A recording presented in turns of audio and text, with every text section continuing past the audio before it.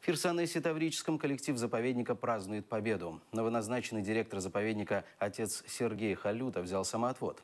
Исполнять обязанности директора сейчас будет бывший заместитель директора по научной работе. Детали в сюжете.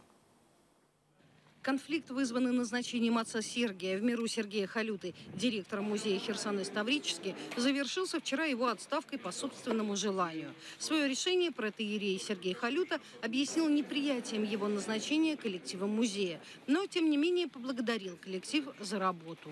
Я хочу поблагодарить сегодня коллектив музея за то краткосрочное сотрудничество. Я благодарен за то, что музей работал в штатном режиме что вся документация, необходимая для э, перехода в федеральную собственность, она готовилась и готовится. Это очень важно. Я благодарен вас, вам всем, кто мне помогал в течение этого времени, кто работал. Сотрудники проводили халюту аплодисментами. Они не скрывали своей радости по поводу принятого решения. По их мнению, отец Сергей – человек некомпетентный в музейном деле, не имеет базовых знаний в научных дисциплинах, которые необходимы для дальнейшего развития музея-заповедника. Мы довольны, мы рады, что все-таки сдвинулось с мертвой точки. Наше, как бы, как бы вот то, что мы ждали с 29-го колобродило. И не только нас, весь город, понимаете? Весь город поднялся. И тем не менее, маленькая но победа. Вот, видите, как все довольны. Сотрудники рассказали, что конфликт между церковью и учеными заповедника очень давний, из-за монастыря, который располагался на земле Херсонеса. Есть доля вероятности, что это назначение было вызвано именно желанием церкви вернуть себе эти земли и восстановить монастырь. Поэтому коллектив опасался, что при передаче музея федеральное подчинение, собственность музея, представляющая историческую и археологическую ценность, будет выведена во владение церкви. Конфликт давно вышел за рамки города, да и всей республики в том числе.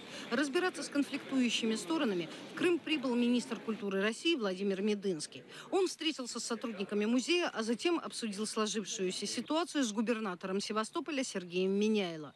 По итогам встреч был назначен новый руководитель. Им стала бывший заместитель директора по науке Лариса Седикова. Она будет заниматься работой по передаче учреждения в федеральное подчинение.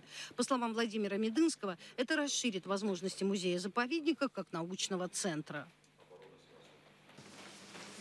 А что даст вам федеральное переподчинение?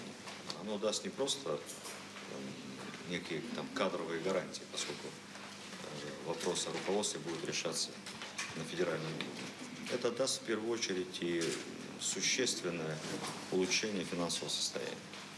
Мы особо ценим наше федеральное учреждение, это учреждение лучшее, зарплаты в них выше, чем в других учреждениях.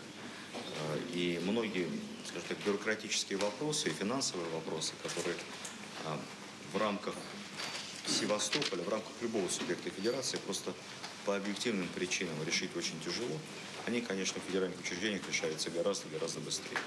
На время перевода музея федеральное подчинение Сергей Халюта войдет в Совет по делам Херсонеса, а также продолжит вести службу в храме. В это же время на территории заповедника не прекращают работу контрольно-ревизионное управление и Следственный комитет.